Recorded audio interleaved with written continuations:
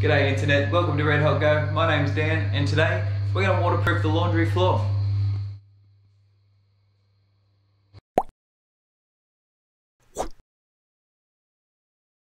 First, you want to start off by making sure you remove any sharp edges that might be left over from concreting or filling holes in the wall. Next, give the whole floor a good sweep, making sure you sweep the walls as well. You need to make sure you get rid of all dust, oil and debris.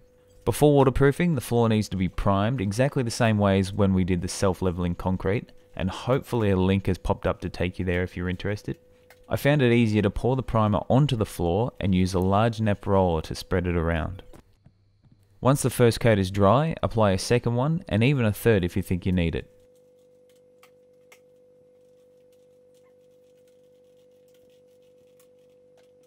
You also want to make sure you go up the walls at least as high as you intend on applying the waterproofing.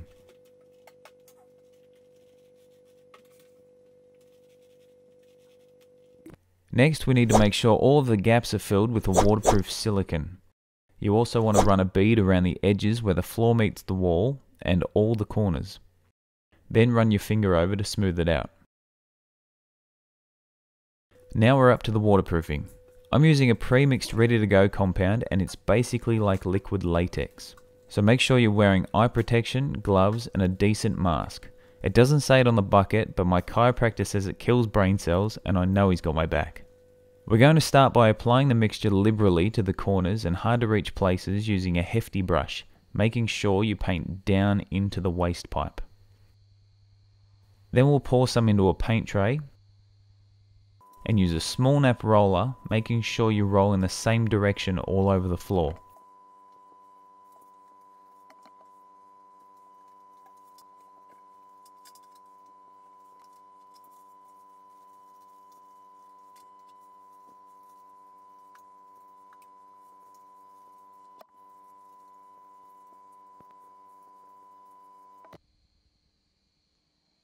Once that's dry, apply the second coat, and this time apply it at a 90 degree angle to the first to make sure you've got good coverage. You need to make sure there's no holes in it.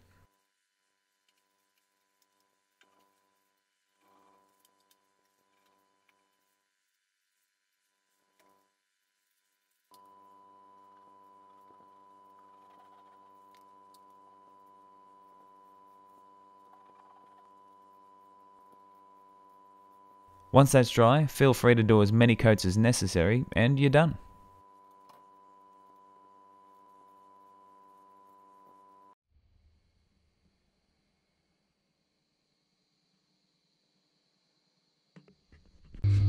And that's how you waterproof a laundry floor.